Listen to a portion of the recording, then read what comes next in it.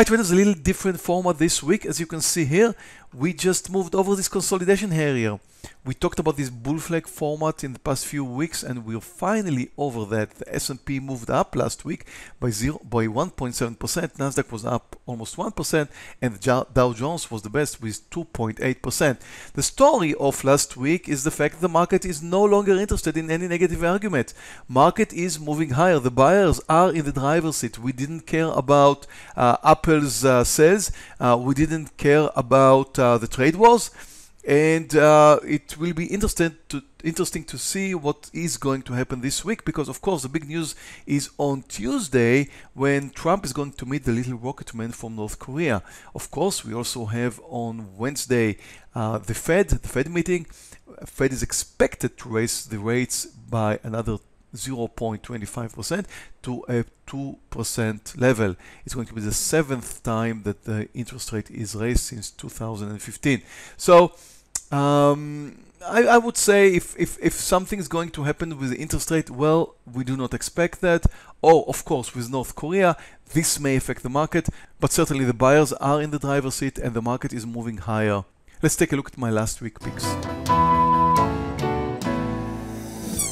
We had Twitter for long. Twitter did great. Look at this breakout point here where it just moved higher and then gapped for some more continuation, up 12%.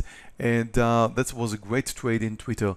My second pick was Apple. Apple did good too, over 2%, but came back now. It still is uptrending. It looks well, and I hope it's going to reach my 3% target. My third pick, in fact, that was from two weeks ago, was Teva Long, which did over 4%.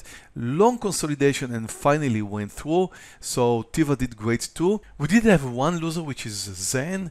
Uh, Zen did trigger, however, came down. I never lose more than 3%, so Zen is out of the game. Let's have two picks for this week. My first pick for the week is THC Long over $37.55. Nice uptrend and a nice breakout formation over the highs. THC is a healthcare corporation in Dallas, Texas. My second pick for the week is Red Hat, and again, very nice uptrend if you watch the daily here, it looks unbeatable. And a nice technical formation at uh, the highs. Uh, Red Hat is a software development company. I'm going to go long over 173 and 58 cents. I wish you a great trading week and I'll see you next week. Thank you for watching this video. Before you go, we invite you to take TradeNet's free trading challenge. If you succeed, you will receive free trading education and access to a $14,000 funded trading account that will allow you to trade from home and keep 70% of your profits. Click here to sign up for this no risk, no cost offer.